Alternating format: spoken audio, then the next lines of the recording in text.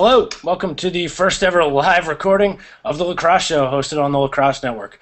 I want to thank Samir and the guys for having us on. I'm Connor Wilson from Lax All Stars. Uh, joining me is Mark Powers, as always. Good to see you, Mr. Powers. How are things? I'm good. I'm good. How about yourself? Can't complain. Uh, living the life, you know. Uh, why don't you let uh, let people know where you're coming from, Mark? Uh, live from uh, the Upper East Side of Manhattan right now. Hoity toity. Wow. Samir, coming out from California, right? Yep, coming out from Southern California, from Los Angeles. Uh, it's pretty frigid over here, Connor. When you say frigid, how cold is that really? It's cold. I think it was a, a cool 60 today, which was Okay, tough. don't talk. Don't talk to me. Do yourself. I'm just saying it's. I wore my uh, I wore my winter jacket today. yeah, we we had intermittent snow showers today, so Yeah, consider we're about yourself. So the context here is, uh, you know, we're obviously here to, to talk about lacrosse, and we want to know what you guys want to talk about. Uh, for those of you who are out there listening, so Samir will be be our uh, Tony Reali, if you will, interacting with fans and uh, posing questions, and you know, kind of bringing a little bit of that live element into the show. Uh, Mark and I will kind of jabber our jaws off about lacrosse. It's what we think we do best, so we're going to stick to that. First topic uh, I want to hit up. Obviously, uh, you know I just put a post up on this about uh, on Lax All Stars. Uh, two new stick rules. One for me is this uh, three and a half inch diameter butt end, and that that's kind of your max size you can have of a shaft now. Uh, sorry, that's a circumference, three and a half inch circumference around the shaft. So that kind of eliminates all these donuts. And my real question about that, I mean, I, I don't really have a problem with eliminating donuts, but my question is, you know, can guys even use butt end caps anymore? You know, if a shaft is already three and a half inches around, and you can't put more tape on it, can you really afford to put a butt end shaft, you know, cap on it? And and I think that's a kind of a weird change, and it does seem like a bit of a safety issue. You know, you don't want to have kind of exposed metal edges at the bottom of sticks.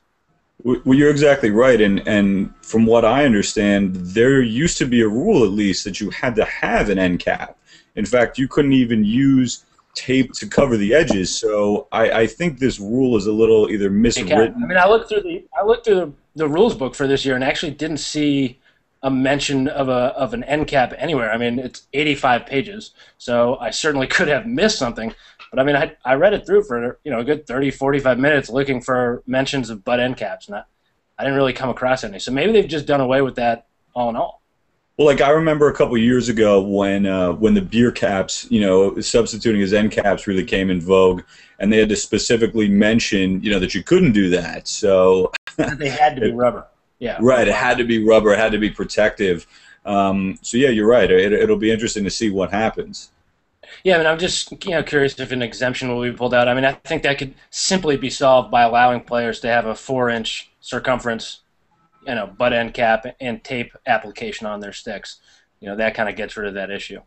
Now, what do you think of the spirit spirit of this change really was? Do you think that I mean, I you know, in my opinion, it's got to have to do with people kind of taping that huge donut about an inch or two up on the shaft to kind of play as if it's shorter. I'm assuming that that's what they were trying to legislate against here, but I don't know. I mean, I guess it's maybe me being a defender and being a little naive to this, but I don't understand the advantage that's being gained there. So you know, I I also was a defender in college. Thankfully, I've moved on uh, and and started playing attack, and, and I have a donut at the bottom of my stick. Now I don't have it there to shorten my stick specifically. I guess Right. that that is kind of a secondary, uh, you know, factor that comes out of it. I, I have it there because I like to, you know, really nestle that against the bottom of, you know, my hand right here, and I feel like that gives me a little extra torque when I'm shooting. So I, for me, that's my guess is that they were trying to get away from uh, stick modifications that actually gave a players some sort of inherent advantage. Uh, that seems to be what, what the a lot of the intent was. So you know, again, I don't know what it was for, but I, I think that that was it. Um, probably also to keep players from you know shortening up the stick. Um, again, you're modifying equipment that is kind of set to standards. So uh, just just to bring in a, a couple our viewers, wanted to thank everybody for tuning in right now. Um, we do have uh, somebody watching from Australia who says greetings from Australia. So Good day. Australia. Oh, good day, everybody. And uh, a question here that came in regarding Yeah. A question that came in regarding the shaft is: Do you think they will measure the actual shaft and not count the butt end? Eh, That's a good question, and they might. I mean, uh, that could certainly be an exemption. You know, you could say that it, it's the metal part of the shaft, and a, and a standard. They could then define a standard butt end cap can be used. Uh, you know, you could also get around it by changing the three and a half inches to four inches. Wouldn't give uh, anybody a huge donut, but it would allow for, you know, uh, you to have a butt end of your stick. So, I mean, there's clearly an answer. It's it's not an impossible situation to solve. Um, and it might be solved already. I mean, there a memo came out Friday uh, to D1 coaches, you know, changing some of the rules and, and making some adjustments, and we don't necessarily hear about that immediately. So, you know, th- this Right. problem may be being addressed already. I've got a call into John Hine, the chair of the rules committee, so I'm hoping to talk with him tomorrow, and uh, we'll have more information on that. You know what? And seeing seeing how he's kind of handled this rule situation, considering the obvious ambiguity that exists now with, with these kind of recent changes, I, I would imagine that he'd get back to you guys pretty quickly, and this will be resolved before the next round of games gets started. Yeah, I mean, Justin Skaggs from StylinStrings uh, was in contact with John Hine while these rules were being discussed. Uh, said he was very receptive uh, to comments and input, and that you know he was really forthcoming with information and, and pretty clear on why they were trying things and what they hoped Right. to accomplish. You know, overall, considering how much change happened this year, I mean, I, I'm a big fan of the way that the rules committee went about it. You know, do I think that some timetables could have been extended and changes could have been made earlier or late? Yes, of course. You know, you can nitpick anything, but overall, I, th- I think the rules were done pretty well. Um, maybe with the possible exception of this this next change that that, that I'm going to bring up, and that's the no back test. Okay, so there's no more back test. You used to have to put the ball in the back of the head and then put it upside down if the ball didn't fall out. It was an illegal stick, right? So that was a new rule for this year, and that's been scrapped. So actually, Yeah, I Kevin Kevin Rowan uh, came in with a question here, and I'm assuming this is the answer now. He, he says, "Any official update for the uh, for the MCLA about the elimination of the stick check with the ball in the back of the stick?" So that's exactly what you're talking about, right, Connor? Yeah. I think if the MCLA plans on following, uh, you know, kind of in step lock with uh, with the NCAA, then Which they do. yeah, yeah, then they should lose that rule as well. I mean, I think they made an exemption one year on uniform number sizes, Right. Because it would be a prohibitive cost burden for every team to re-outfit their uh, their uniforms. But you know, for the most part, I think with, with the exception of that one example, the MCLA almost always uh, pretty much stays right in touch with the NCAA rules. So I, I would expect that that's going to be true for them as well, and was on was on Friday. Although I'm sure that some refs maybe didn't get that memo, and some MCLA coaches maybe didn't get that memo. Um, so maybe the rules hadn't, you know, officially been changed. I mean, that, that anytime you have rule changes that happen this late, I think you're going to run into some of those issues. Um, they're unfortunate, you know. But if if that one issue decides a game for you, I don't know. Maybe So, should Connor, so, so what's your big beef with the elimination of the back check? So the back check. Well, here's the thing. You know, I I actually wasn't a huge fan of them getting rid of the U and V shooting string. I, I don't believe that the shooting strings themselves are the problem. You know, they're more of a guiding thing. You know, it's a last minute touch you put on a stick. You know, ideally, when you string a pocket, right, you should be able to throw without shooting strings in it, and then you put shooting strings in it to really finalize, you know, where the ball is going. Um, so I didn't have a huge problem with the shooting string. I thought the back test was the best because then you can have those sidewalls on the inside of you know the head of uh, of the face of the head, and that really creates that that narrow pocket inside a 2010 spec head, right? So you can have a pre 2010 spec width pocket in your stick if you don't have that back check. Um, so for me, that was the most telling, you know, and creative rule change. I loved it. I thought it was, and it was so simple. You know, you didn't need you didn't need a measuring tape to see if it were four inches. You, di- you didn't need any of that. All you had to do was put the ball in the back of the head and turn it over. Did that work? Yes. Okay. Illegal. You know, I mean, it was so simple. I, I- yeah, I, I guess so. I mean, I mean, I guess I, I just kind of think that it's it's not necessarily the most perfect metric. You know, it's not like busting out a tape measure. I don't know that and there is a perfect metric, though, right? uh, I don't know that there is a perfect metric. No, no, of course, but but you know, for example, when we're talking about the other rules, and you're talking about you know the shooting strings being four inches down from the uh, you know the the scoop, or you know you're talking about the length of the stick, or you're even talking about the specific head dimensions, at least there's something you know definitively quantifiable there. Whereas you know something that's much more unscientific, just oh the ball doesn't come out when I turn it over. I mean you know me, I, I play with a pretty unscientific pocket. You know no channel, no nothing, and you know I was trying to but do this. That's the whole myself. point, huh? right? That's the that's the entire point right there. Is what? does the ball come out of the stick? If the ball doesn't come out of the stick, you've got black hole pockets you got players who can just you know swim, dodge, and power cradle their way. See, I don't, I don't agree with that. And that was the problem. Nah, because to me, like I, I definitively have a stick that wouldn't be quantified as a black hole pocket. I mean, you, you've seen the sticks that I play with, and yeah. you know it, it's an issue where it just happens to get stuck in the back. I, I can't speak intelligently about why it is, but you know, if this was the type of pocket they were trying to legislate against, I don't necessarily understand what the issue is, and, and clearly that's my own you know individual problem and uh, you know uh, perception on the thing, but I, I don't you know, necessarily have as big of an issue this. You bring up a great point. I think it's why people were so up in arms. You know, it, this all this stuff is not all mutually exclusive or inclusive. You know, right. your stick may fail a test, but really be legal and within the spirit of the rules. Exactly. And that's the hard thing. You know, that's a hard that's a hard thing you have to do anytime regulation is required to change something. You know, regulation can never outpace innovation, right? I mean, it's reactive. Oh, for you sure. know, so it's kind of sad. So you, ha- yeah, so you have to make those rules that may be a little too harsh, just to make sure that you're catching some of the most, you know, flagrant abusers of the current setup. Agreed, agreed, and and I'd even agree with your point that you know the channeling ultimately makes a bigger difference than the shooting strings do. But at the same time, I'm going to disagree with your earlier contention that you know, getting rid of the V and the U isn't going to have as much of a pronounced difference because I think it will. And I mean, you've already kind of seen that. Um, you know, I mean, granted, it's a really limited sample size, but in the in the only televised game that we've seen so far, the Loyola game. Yeah, no, I think their their passing was certainly crisper, and I think uh, quite a bit of that can be attributed to the new uh, to the new stick rules. Right. So we have a uh, a, a couple uh, couple new viewers tuning in. Again, uh, thanks for tuning in. We've got to give a shout out to Athens Drive High School Lacrosse. So there's your shout out. Um, Where's that? Georgia? Georgia? Where is that? yeah. in Georgia. Got a, uh, Andrew Williams tuning in. He says that uh, he plays MCLA, and his coach told him that they were following all MCLA rules. MCLA rules, they you know, as we talked about, they do mirror the NCAA rules. Um, and let's see. Mr. Lackstrings wants to know what rules do you think will affect the most uh, most players in lacrosse next year? Great question. Great yeah. question. Uh, Mr. Lackstrings, only only with the sticks or, or all rules in general? right. So let's let's uh, let's get into that once we hear from you, Mr. Lackstrings, and uh, we're, we're going to do an, another shout out here to Arrowhead High School Lacrosse.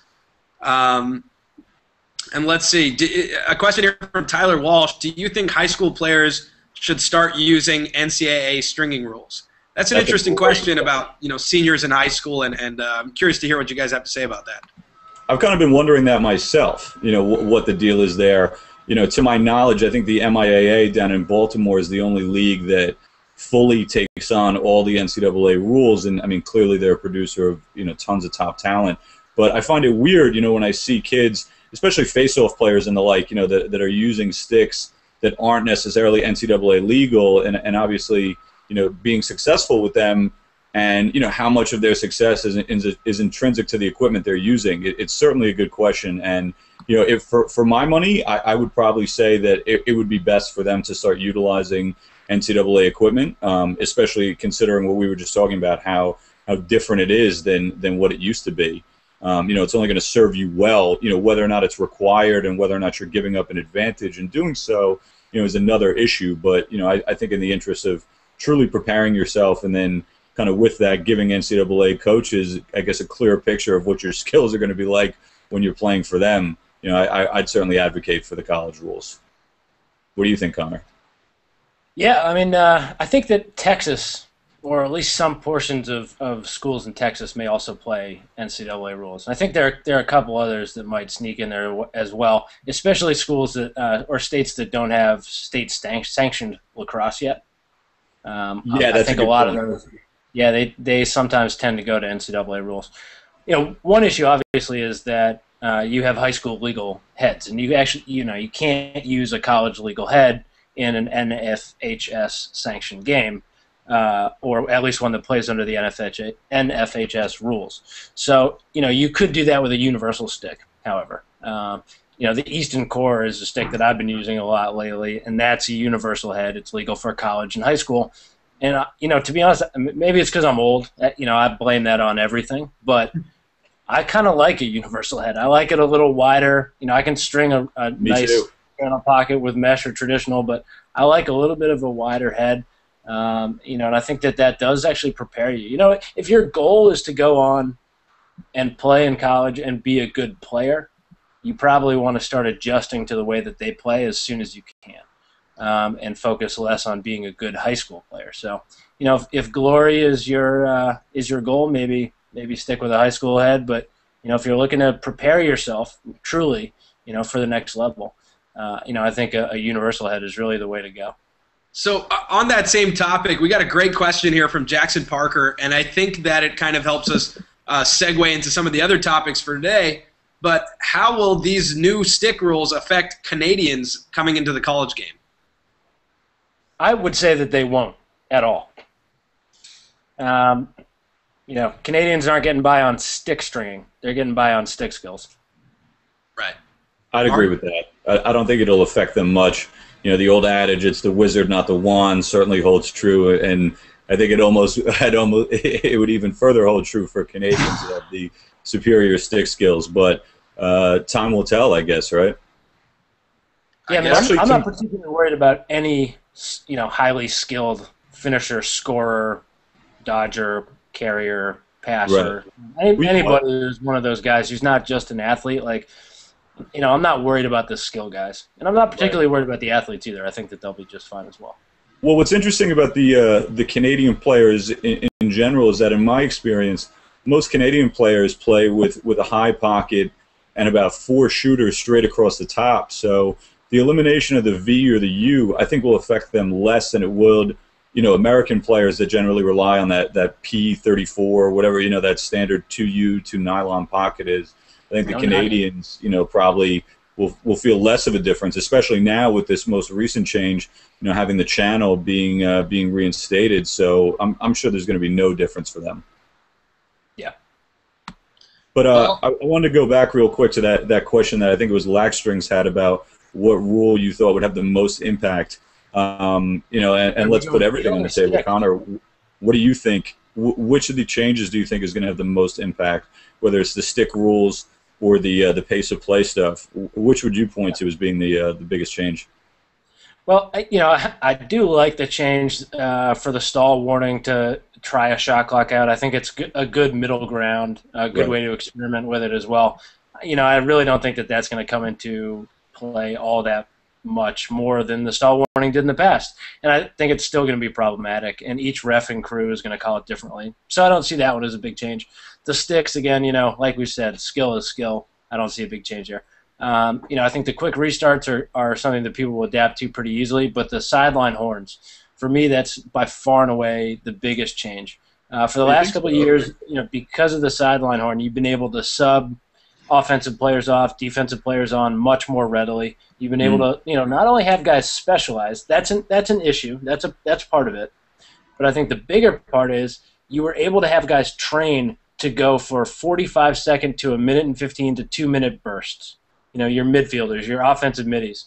They really had to be able to go hard. You know, maybe make one really good dodge and then sprint back off the field now I think that that conditioning aspect comes back into things. And you know, while that four four forty is still valuable, um, you don't get the chance to necessarily set that up as much when you're fresh. I think you know a lot of guys are going to have coming on uh, after playing a little defense or clearing the ball. Talking about endurance, right? Yeah, so I think it, it, team conditioning and, and, how teams approach the game because of no no horns. For me, I think that that's really a, a the biggest change and one I'm excited to see. I, I don't think it's going to ruin the game. Um, could create yeah. some really weird transition, you know, creations. Um, you know, teams coming out of these kind of positions where they're they don't have players necessarily used to that, or what they see a guy who's gassed on the other team and they just push it against him. Uh, I think it could could really lend itself to some exciting up and down lacrosse. Yeah, I'd, I'd agree with that to an extent. Um, you know, to me, I have a different change of mind. But one thing that I that I did want to bring up that I found kind of interesting, I was reading Quint's column where he was talking about you know uh, rolling with Mark Dixon and doing the UMBC uh, scrimmage. And my impression from the whole point of having the balls on the sidelines and the quick restarts was basically you know doing what Steele Stanwick always tried to do, which was kind of roll into the restart. And now, you know, in reading Quint's article, it sounds like you can't roll into it right away. In fact, you have to come onto the field, get the attention of the referee, signify that you're ready, and then proceed with play. Which you know you might think that's not a big deal. It is. And also, from what I was reading, he was saying that there's no longer five yards. But you know, if you're within five yards at the time of the restart, you're not allowed to make a play on the ball. So you talk about, I mean, you know, being subjective. I mean, that's that's kind of ridiculous to me. I'm I'm a little interested to see how that'll play out. Um, what do you think about that? I, actually, you know, I, go ahead, Samir. I, I was going to say I think we actually saw something similar, but uh, uh, more so in the the you know with John Galloway in the USA Loyola game. Yes.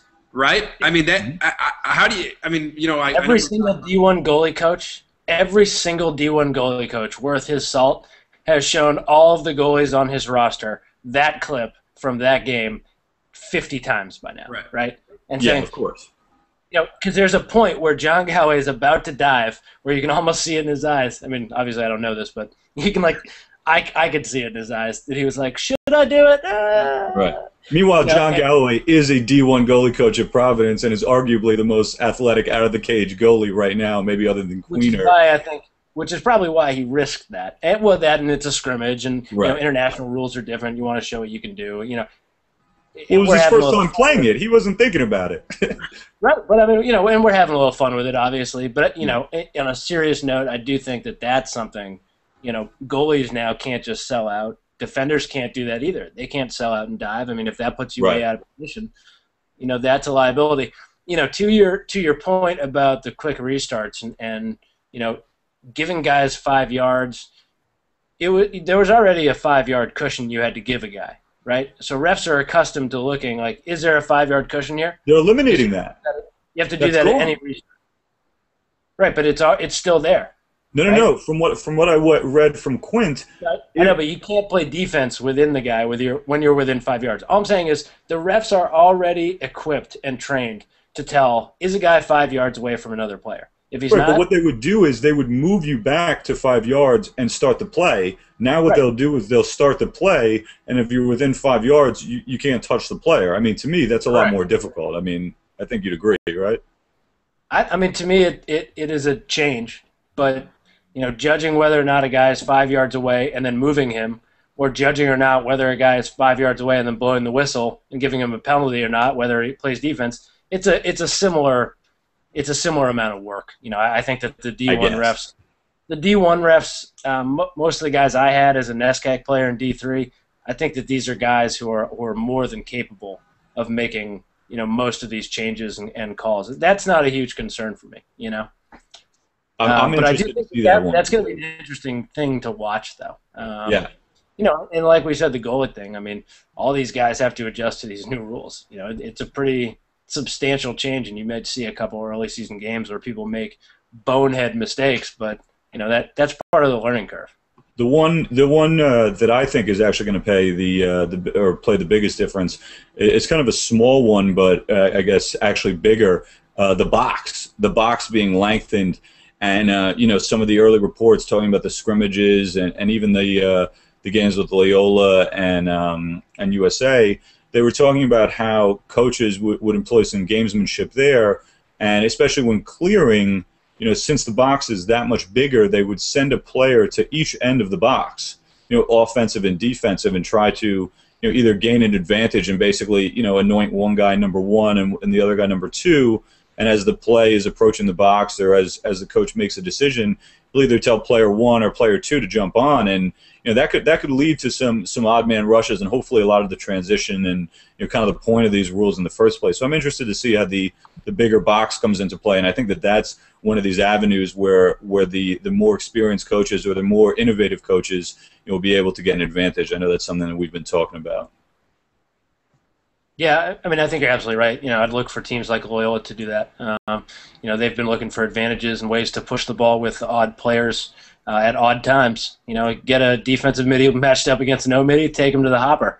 Um, so I think if they can get some of those and, and use the box kind of like uh, you would in box lacrosse to gain, you know, that 20 yard advantage. That's yeah, exactly I, right. It's, yeah, it'll, it'll promote more transition. Yeah, and it's another thing to practice, and it's another sort of uncertainty for the year that the teams will face, and it, it could just not necessarily decide some games, but it could definitely impact some games. I think. Oh, for So- sure. Yeah, it's it's Yeah. uh, you know, we had a question here, Connor. You talked about the NESCAC a little bit. Um, the Ah, question about where you next huh where you where you played in the NESCAC, uh, and then it was actually answered already by by one of the viewers, which was Wesleyan. But I think it was actually People know, Ohio people Wesleyan. know where I went to college. No, no, no. I, I went to the original old school 1831 Wesleyan. The real Wesleyan. You. So, The, the Wesleyan University. so clearing up all You know, we're not confusion, Connecticut. it's just Wesleyan. Yeah, we're not Connecticut Wesleyan. No, yeah, just Not Virginia Wesleyan, just Wesleyan. Just Wesleyan. Got it. So, a- and now actually another question here from uh, Hunter Spielman. Um, Is he on the old name team? We got to have that guy on the old name team right there. that's a good name. And he's he's got a question saying, do you think the MLL, um, NLL, and LXM should follow the same rules as NCAA? And I think more so that to reshape the question, do you think that the MLL uh, and LXM Pro should follow the same rules as, as NCAA? I guess the uh, yes and no. Where where do I even start to begin? Uh, two point line is a fantastic addition to pro lacrosse. I played in a couple tournaments with it. It's a lot of fun, and those guys can straight up shoot. It does stretch defenses in the MLL. I just had a light blowout. That was Wow. crazy. that was amazing. Yeah. That's like the Super Bowl. It is. It's kind of like my own personal. You got personal. Beyonce over there or what? There's a lot. Yeah, yeah, no. Beyonce, we got all kinds of stuff. He- going he is on. in My face a Brooklyn. little yeah, yeah, you know, Power Surge, New Orleans. You never know. Wow, that's two two blackouts in one week. I know that this one may be more epic than what we Content, had. the content is too hot. That's why. that's amazing. Well, Uh, but you you know, just to, just to chime in on what you're talking about, I, I think that ultimately, no, you know, it, it's kind of tough to to impose those rules on the professionals. You know, I think it's a little different because you know the point of those rules was to encourage more transition and you know more more free play.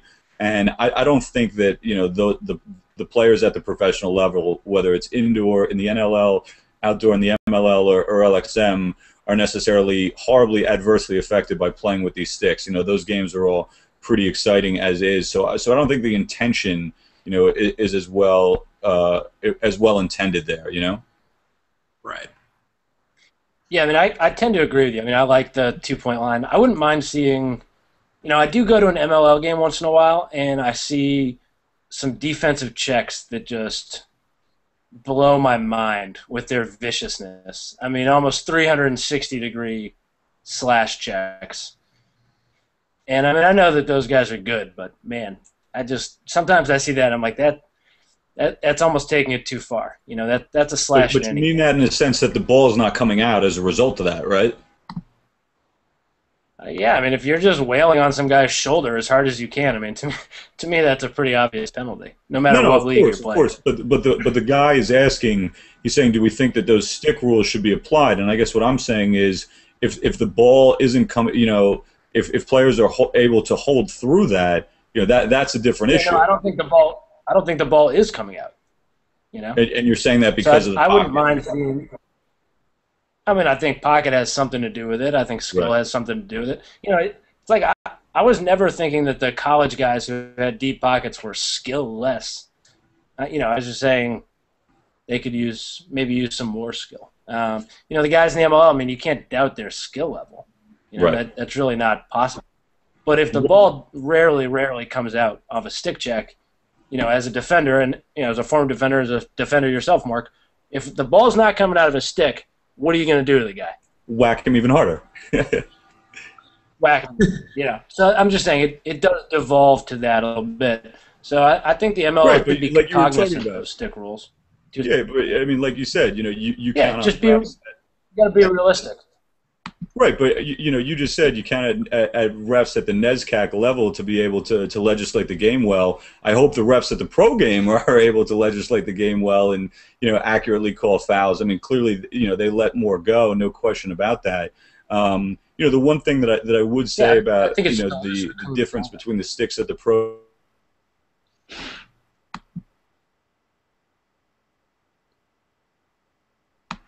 Did we lose Mark over there. Connor? Think we still got Mark here. Pro. Yeah. Last thing know. you said was I can't pro. see him. So we'll probably get back to that when Mark logs back on. Um, but a couple more comments coming in. Wanted to address one from What a Boz 117. Uh, he was the one who actually said that you went to Wesleyan. He said, knew it. Connor, you mentioned it in some of your articles. I read all of them. So I am proud of that. Yeah, Yeah. I am. I'm, I'm particularly proud. I'm probably too proud that I went to Wesleyan. That's a that's a fair. absolutely. But it was So, a great school. I really I enjoyed my time there. So Are they the Mules? We got to go Mules as well. that's Colby. That's that's that. Yeah, they're up in Maine. No, So, and that's where Whit McCarthy actually played from the LXM Pro Tour. that is where we're absolutely true. Whit's a great guy. So uh, a question here from from Kevin Rowan. Um, you know, to kind of to I guess wrap up the, the discussion on the rules. Regardless of whether the rules are good or not, do you think that they have implemented too many rules too fast? yes. Oh, Mark, you're back. yes. In- And, in a with an word- answer like that, Yeah, with an Yeah, answer right? like that, he's he's coming in hot. it's New York. I can't help it. Um, yeah, in, in a word, yes. I mean, with, without going into it too much, uh, you know, I think that everybody would agree that changes were needed, and there and there was no question the rules committee was going to act. And in fact, you know, Connor and I had sat down in, in a lacrosse show, I guess, early last summer around you know, U19 time when we were talking about, you know, kind of what we thought going into those committee meetings, what we might see. And in my opinion, this is far and away much more than what anybody anticipated. So, you know, I, I, I do think they went a little too far, but it, it's still too early to tell whether or not they were ultimately good or bad. I mean, we've only had one D1 game at this point, so I'm not going to rush to conclusions, but I would have liked to see this phased in a little bit more over time. And you know, the same way we were talking about, you know, having all these comments um, or, or, all these kind of changes that were made last Friday, you know, that that's indicative of them not necessarily being prepared and not having enough time to to work everything through. And you know, I, I guess they they know that because now you're having those resulting glitches. So you know, that's that's my answer on that front. Yeah. So- I mean, my answer is no. They didn't put in too many rules at once. You know, I, I think you're going to run into problems, and I'd honestly rather see more changes kind of put in at once, if need be.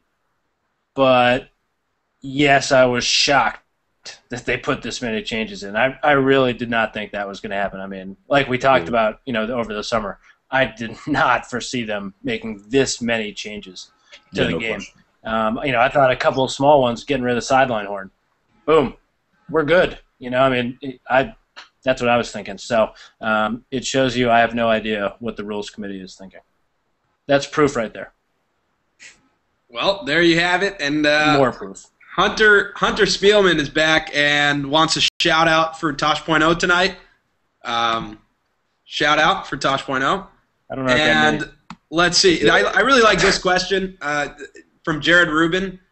What are your views on people thinking that New Yorkers are rude, considering you guys are New Yorkers? I'm also from New York, says Jared Rubin. New York is the center of the universe, up, Jared? Jared. Everybody knows that.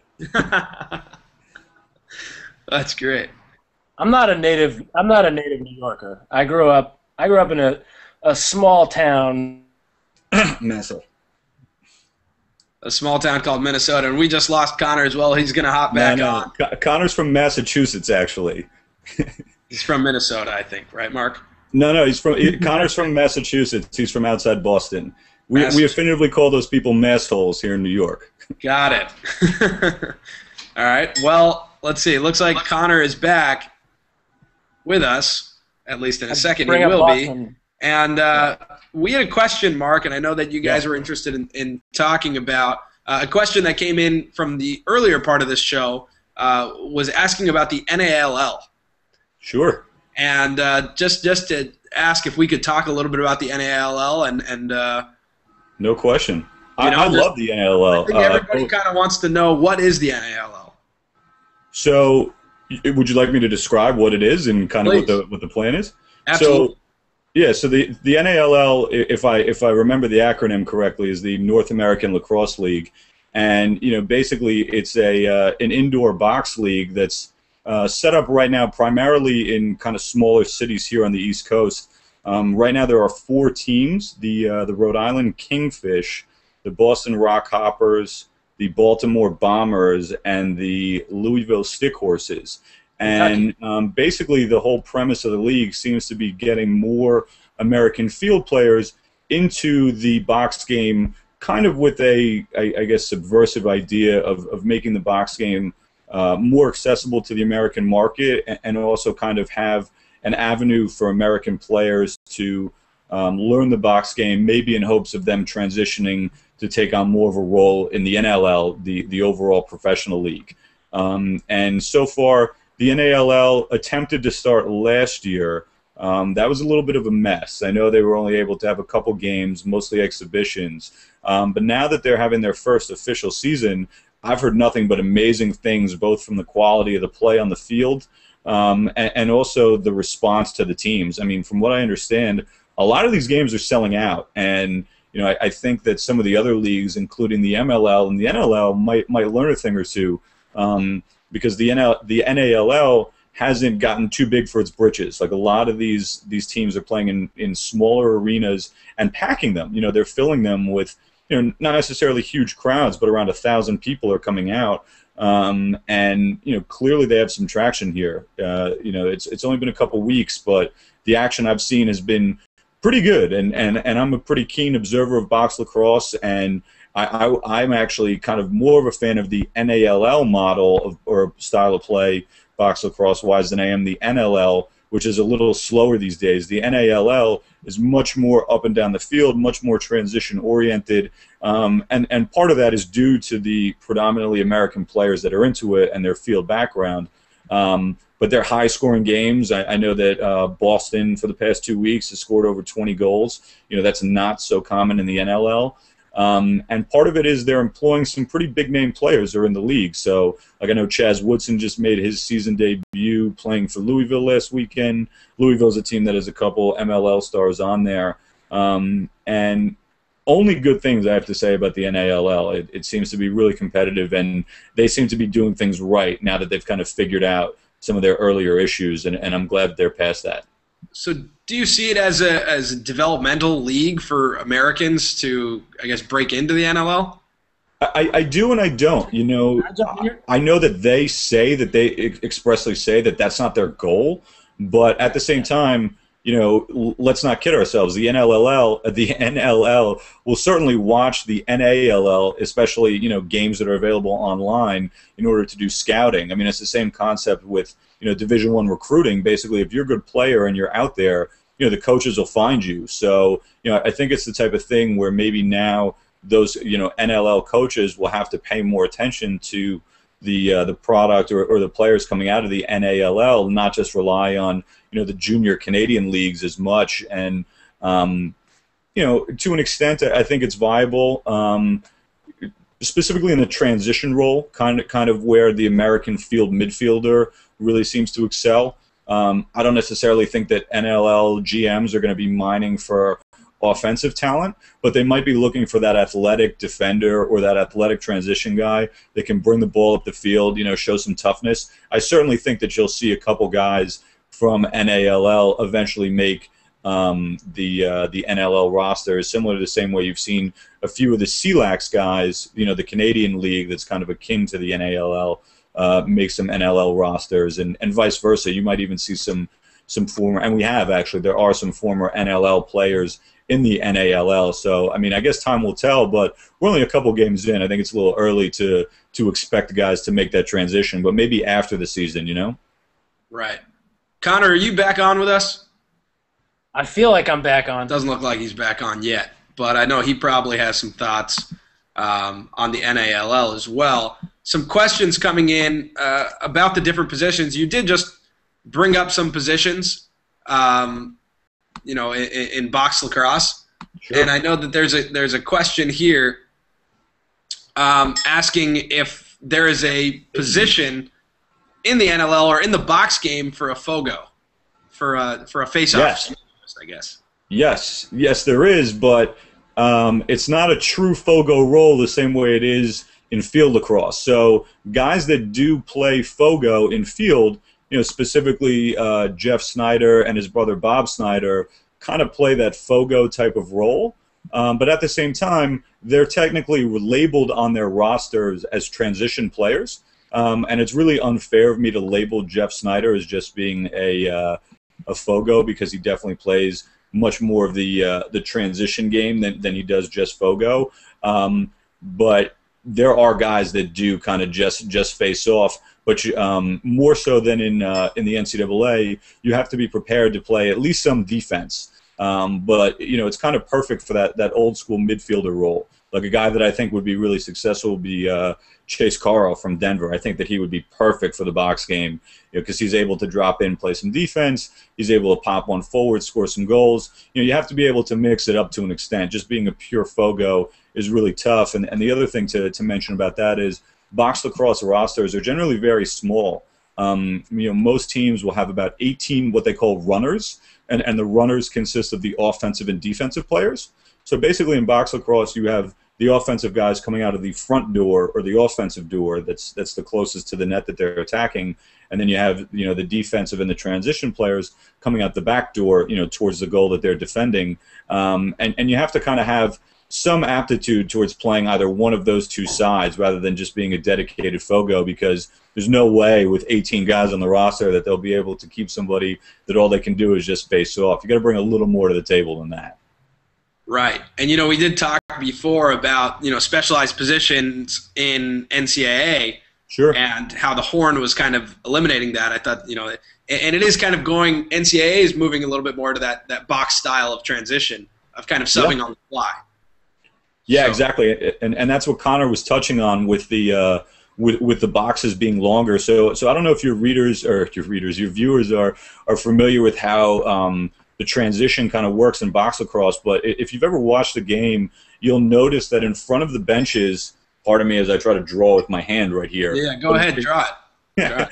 in front of in front of each team's bench, or actually from in front of both benches, there there's a little box that's called like the, I guess the transition box. You know, pardon me, Canadians, for not knowing the actual term.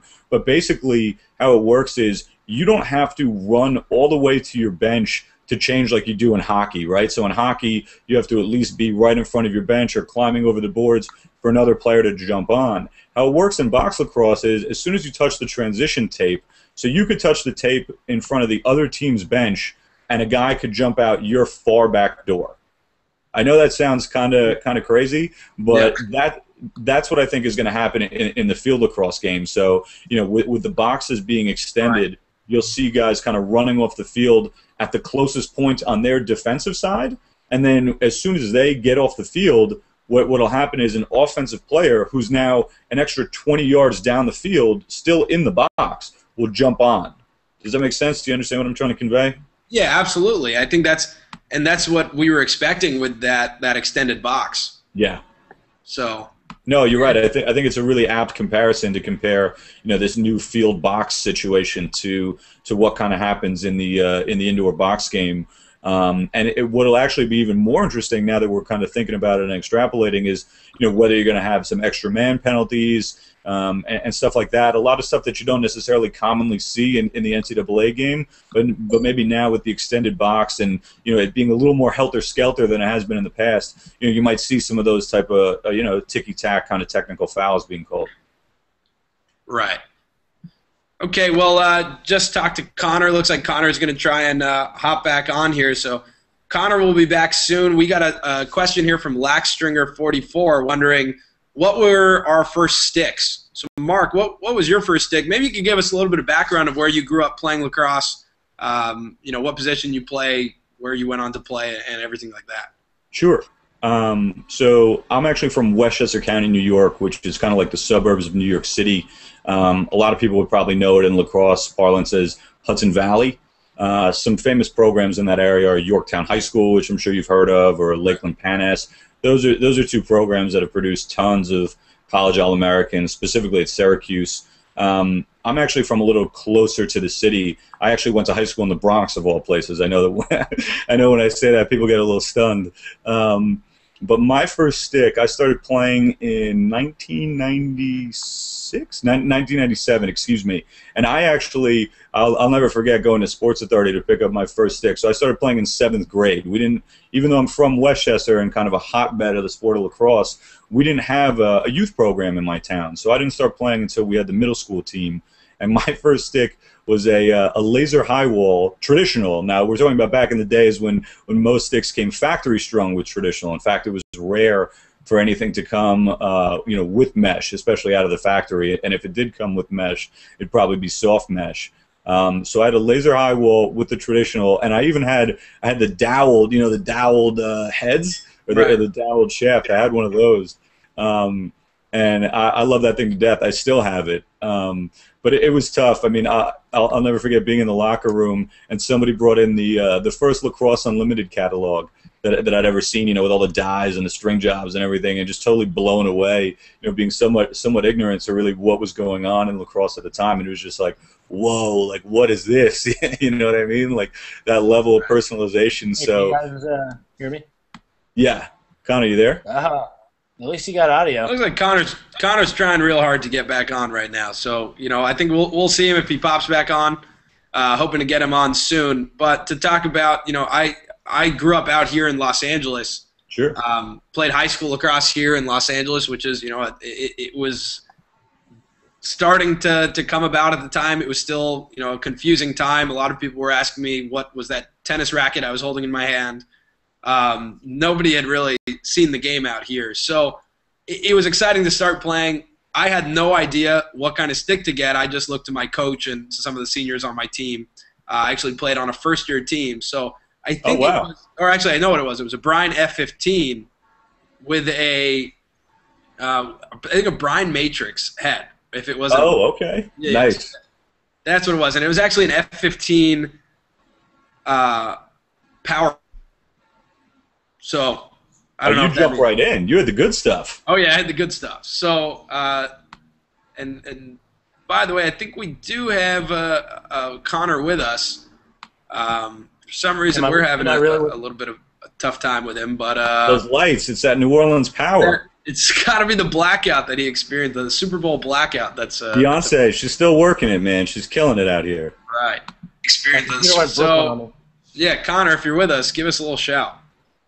What's happening? So Connor, we were, we were talking about what our first stick was, and I was kind of relating how, you know, back back in the uh, the good old days, I had a uh, a laser high wall, you know, with the traditional factory stringing, but I had the uh, the dowel shaft. Do you remember what your first the, stick was?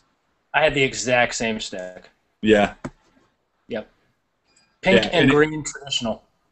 Yeah, and it came in at the respectable thirty-five dollars off the rack. So I think that that's what my parents' real interest was. You know, get get something cheap, see if see if I stick with it, and then uh, I, I, quickly upgraded from there. Like I was telling uh, Samir, you know, I got the uh, I saw the first Lacrosse Unlimited catalog in my uh, in my middle school locker room and saw the stringing and dye jobs, and I went from a uh, a laser high wall to a uh, a revolution with my school team dye and a nice five diamond traditional pocket real quick. Wow. That wow, that's a big step up, though. It, it, was tough. It had way too much whip. That thing started to bag on me in no time. I had like six shooting strings in there, you know, Dan Dawson style, one on top of the other. It wasn't pretty. It, it was pretty rough. that's amazing. Connor, what are you using these days? Uh, I've got two heads that I use. They're both traditional. One's uh, an Easton Core head, and the other is an Under Armour Mercenary. Uh, oh. I like them. They're good. What do you think yeah. about the new Under Armour products? Huge step up from last year's offering. No question about it. Huge step yeah. up. Yeah. yeah. I haven't had a chance no, to get I'm, my hands on them, but I'm intrigued. Yeah, no, it looks good. It's it's kind of sticking up to uh, you know a lot of the box lacrosse abuse that it's getting uh, from a lot of their testing. They've got a lot of Canadians working for Team 22, and um, yeah, I mean, it, you know, last year I think people had their doubts, but they rebounded really nicely. Um, you know, the gloves are, are much better. I saw a pair of those over at the Trilogy headquarters, and uh, you know, they were they were really pretty good. So uh, you know, I, I, think Under Armour's made a, a big, big, big time stride in, in, only one year. Yeah, you know what? I'm I'm interested to find out. I mean, from what I understand, Team 22 is is a licensee relationship, and, and it seems that Curt Styres, you know, the, the big man in lacrosse right now. Uh, you know, if people aren't familiar with who he is, Curt Styres is an, an, an Onondaga businessman, you know, who owns the Hamilton Nationals and, and the Rochester Knighthawks. He seems to be the main driving force behind Team 22, and actually a couple guys who used to be major in the lacrosse industry are now associated with him. I mean, from what I understand, Tom Marechek and Paul Gait are the guys that are really behind the, the Under Armour product. I mean, is that true? That's what I understand, right? Yeah, I mean it, it's not all coming directly from inside Under Armour. They've done a great job of finding a you know sort of a subcontractor who can handle the lacrosse world for them, um, and it seems to be going really well. I mean, you know, it takes a little time, but they've been able to rebound really quickly. I think that you know that history that you talked to speaks to why they have so many uh, Canadian endorsed athletes. But right. they got a lot of good guys, and you know I think that again that's a strong foundation. Um, going out and trying to find somebody to you know kind of do the work because it's very specific work, right? I mean, the lacrosse industry is different from anything yeah, else. You can't just there. be a manufacturer and, and show up, no question. Well, there's actually some controversy about that. I mean, I don't really mean to delve into a larger topic, but I'll never forget reading the article on Inside Lacrosse where um, it, it, looks like there's a situation right now where Warrior is, is suing Under Armour actually, you know, in, in connection with you know their lacrosse production. It looks like a former Warrior employee or Warrior Brine employee, you know, at least the allegations that I saw in the article, and, and then when I pulled up the, the lawsuit, it contends that he stole their like you know entire business plan or you know whatever information that he formerly had from you know, working at Brine Warrior. I mean, who knows what what impact that actually is, but that's certainly something to keep an eye on moving forward. Uh, you know, to see how that all shakes out. I mean, there's no question that you know Warrior has been a litigious company and, and been very judicious in in protecting their trademarks. But to me, those those are pretty serious allegations, and you know, if proven true, that would be that would be pretty ridiculous. you know. Yeah, I mean, uh, you know, I don't know enough about that specific situation to really comment on it. You know, I don't know if this guy's a, a Under Armour guy or Team 22 guy, or if he doesn't work there anymore, if he if they knew about it. I mean, I, I don't know anything, you know, other than what I've read in that brief, which is really pretty basic. So, um, yeah, it's gonna be interesting to see how that plays out. Well, no, for sure. I mean, especially with them gaining some traction. You know, I mean, I, I'm I'm anxious to see their products live and in person myself, but you know, it's weird that lacrosse is becoming that much of a, of a big business thing like this. But it, it's only good for the sport in my mind. Well, I mean, to me, every lawsuit, uh, you know, the money to pay for those has to come from somebody somewhere. Um, right. And if it's coming from lacrosse companies, then they have to make that up. So I think at, at a certain point, lawsuits start to add on costs uh, to us, you know, the, the users and purchasers of this stuff. Um, you know, but at another point, you know, if it's about protecting intellectual property, you know, there, there is a market and there's a there's a set of laws in the United States for that. So that's kind of life. Yeah, no, for sure, for sure. Well, you want to uh, you want to hit up some weekend upsets? I can run down a list of all the D1 games this weekend. Maybe. Uh, yeah, why not? Let's delve into the crystal ball a little bit. All right, let's go crystal ball. We'll go a little bit crazy. First one up, I think uh, this has a, the matchup to possibly be the, the game of the weekend. Um, Bryant at uh, Bryant versus Colgate. Oh wow, diving right in. Well, I mean, you, you know from when we were talking earlier that, that I love the Bryant Bulldogs going into this season, but uh, I don't know, man. That that's pretty tough. You got the reigning Tewaaraton Trophy winner and Peter Baum. You got uh, what's his name, Cunningham, back on uh, on the left side there. Um, you know, they even Colgate even returns their goalie who started the playoff game. Um, this is definitely going to be a competitive game, no question. And and you're right, there's certainly upset potential there. Yeah, I mean, I think Pressler's doing some good stuff in Rhode Island, and uh, Bryant has uh, the automatic qualifier this year at the NEC if they can win that. So you know, I think that they're kind of itching to make this their true breakout year in D1. Um, could yeah. be it, but I, I think you're going to get a good game there either way. I'd, I'd probably I'll go with the upset. I'll, I'll take Bryant. Why not? Yeah, sure. Well, it's going to be cold up there one. too. I mean, either way, whether it's Hamilton, New York, or Rhode Island, it's going to be a tough game. yeah, we got uh, I, I agree without a doubt. Duke Denver should be good. Yeah, Duke Denver is going to be amazing. Um, I got to be honest. I'm I'm going with the uh, with Denver here. You know, talking about the new rules and, and teams that are really going to benefit. I think that Denver. I'm, I'm not going to call them a dark horse team because obviously they've been coming on really strong in recent years. But I, I think that they could very easily return to Final Four form this year. You know, especially with the the Canadian presence that they have and getting up and down the field. I mean, I know you know Duke returns a lot of players and, and, and they have a lot of depth defensively, even without Casey Carroll. But mm-hmm. I still like Denver in this game. All right, all right. Uh, yeah, I mean, you know, I'm a big. For me, Duke is one of those teams that by the end of the season they're flying high, no matter what. True. Uh, but early they on, they can the drop a game here and there. Yeah, yeah, yeah. That that can happen, you know. But for me, it's more about them kind of focusing on what's important at the end of the year as opposed to what's important at the beginning of the year. Um, so I, would take Denver as well in that one, but you know, it's going to be interesting either way, no matter Where what happens. This one, do you know? No, I'm not sure actually. Off the top because of my head, I, I remember the past couple years, Duke stumbled out of the gate against UPenn. I mean, it's not a stumble against Notre Dame, but you know, Duke was certainly ranked higher than Notre Dame was going into that game last year. Yeah, I mean, I, I think that they are a little susceptible. I, I would say they're a little more susceptible early than late. You know, yeah. I'd rather play Duke early in the year than late in the year. I'd probably rather not play them at all. agreed. Agreed. Because they would kill me. Uh, next up, I think uh, you know St. Joseph's is on the up and up. I don't think they're going to overcome the Lehigh Mountain Hawks this weekend. That one's looking a little doubtful. Well, there's an uh, interesting but, relationship there. The the coach of the uh, the St. Joe um, St. Joe's is Taylor Wray, if if I remember correctly, and Taylor Wray was a college teammate of Kevin Cassese. I mean, you know, them being uh, who's the coach at Lehigh, them being coached geographically, I'm sure is part of the matchup. But I'm, I'm sure those coaches schedule that game so they can, uh, you know, see each other and, and compare notes. But you're right. I, I think Lehigh's poised for big things this year. I don't think that St. Joe's has made enough strides to to get past the Mountain Hawks.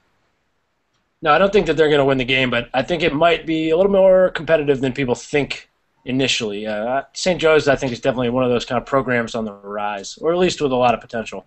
Yeah, I mean, they're they're in uh, that Philly hotbed, no question. Yeah, yeah, and then uh, I think UMass and Army could be a great game. A because UMass won a lot of games last year, but they won a lot of close games. And the other reason is, you know, sure, Will Manny is back, but Army also has Brendan Buckley, and I'm really hoping that those two guys match up against each other. Uh, because for me, Manny is one of the top three attackmen in the nation, and Buckley is probably one of the three top defensemen in the country. Um, I'm excited to see to see those two go head to head if they do. Yeah, and, and and even even extrapolating on that further, I think both of their styles really match up well. You know, Manny's kind of a, a quick jitterbug type of guy, and Buckley's an excellent cover defenseman. Doesn't throw a ton of checks. You know, he's not a uh, a Bill or Tim Henderson. You know, kind of moving all over the field. He's he's a steady, consistent body position defender. So this could definitely be a tough one for uh, for Will Manny. And you know, a lot of people might be quickly uh, anointing uh, UMass the winner here um, but they have, you know, a transition in goal. You know, they're talking about maybe starting Olivari, the uh, the redshirt freshman, and, and Army. Look, they're a team you got to look out for, especially early in the season, because there's no question, no question. that the, the cadets yeah. are in shape always. You know, I mean, anytime you play a service academy, you better believe that they're going to be better conditioned than you are. And you know, they, they not only return some upper class senior talent in Buckley and, and Garrett Thul, but they also have the advantage of having the, the Army prep school. And, uh, you know, if I remember correctly, they have a couple guys who were pretty highly ranked recruits that went through Army prep and are, and are now possibly ready to show on, on the big stage here. Yeah, I mean, uh, you know, I think between Army and and, uh, and Navy and even Air Force, I mean, talk about an up and comer. You know, the service academies are, are always bringing the A game when it has to do with athletes and being in top shape and playing very disciplined disciplined ball. Um, so I think that should be a good game. Um, I I think UMass is going to squeak it out. Yeah, I got Army in that one. Uh, Army Army's they're they're located in my my home area, Westchester County, so I can't go against them. No, I mean, and you know what? Honestly, I think that that's a really solid pick. Um, I think that they're they're a very good team, but you know, I gotta I gotta go with UMass. I, I think that they're going to go for that. They got a couple Homer. guys. You know, Massachusetts. What? That's fine. That that'll be the battle of the lacrosse show right there. Army versus UMass. UMass, do me proud. Come on, baby. Um, the last one I'm going to talk about, I don't think it's going to be as much of a close game, but I think in terms of the future of the sport, you know, the future of D1 lacrosse, does it get any bigger than Michigan Penn State? No, that's that's a great point. And and actually, I'm a huge University of Michigan fan. There you go. So, are you picking Michigan in the upset? No, no, I'm not. I'm not. I'm not ready to go that far. You know, I, am really impressed with what Tambroni has done down at Penn State, and I mean that's a team that realistically may have even, sh- you know, they they should have been in the tournament last year. They had a lot of quality wins, a great schedule. I mean, they're arguably the first team out, and you know, to put to compare them to uh, year two or team two at Michigan, I, don't think that Michigan is quite yet there yet. Um, you know, I'm sure they probably have a, uh, a lot of underclassmen that we're not familiar with that are going to be seeing some playing time. You know, there's there's no question that Michigan's been able to go out and get themselves some good recruits in, in a really short amount of time but I don't think that they're ready to uh, compete with the uh, with the Nittany Lions, and and more important than that, Austin Kaut, the goalie for for Penn State you know, he has the potential to be the first team All America goalie this year, and, and I don't think that Michigan's necessarily ready for what he brings. Um, interestingly, that game might be being played indoors at Penn State's facility, so that might have an effect. I mean, I know Michigan practices indoors in a uh, an Oosterbaan Fieldhouse, so it might not necessarily be an advantage either way. But you're right; that should be a great game. Yeah, I mean, you know, I got to pick Penn State for me. They are really the uh, they're really the key uh, uh, you know, possible potential top ten, you know, newcomer. You know, they're a team I could see winning uh, national championship. Yeah, agreed. I mean, national championship might be might be a little bit of a stretch, but I like them to make the playoffs, especially coming out of their league, no question. It looks like Connor might have just been uh, been booted off. He's coming back right now. Connor. Oh man, oh man, this is killing me. I'm sorry, guys. But so yeah, I mean, uh, for me, Michigan is a, a, team on the rise, but Penn State's a team that's on the rise and really there now. Um, and I, I, think that they're obviously going to win this game. But I think this is definitely a game to watch uh, in the future and, and, should be really exciting. So, yeah, especially uh, with the Big Ten. You know, the Big Ten yeah. conference, they're really close to having having an automatic qualifier, and th- this could be a, a, great matchup for years to come, and this could really be indicative of of what this series might hold for lacrosse fans for sure. Yeah. So, I mean, uh, next week, you know, uh, we'll be back, and, and I think we should actually talk about the Big Ten uh, a lot more next week. That that sounds like a great topic to kind of lead with. Um, but we'll be back on here uh, next week. We're going to wrap things up now. 8 p.m. Tuesdays, Lacrosse Network. It's the Lacrosse Show. Thanks for watching, guys. Uh, thanks for your comments. Really appreciate everything and bearing with not being able to see my beautiful face. I know it's a tough life, but thank you, guys. Thanks, everybody.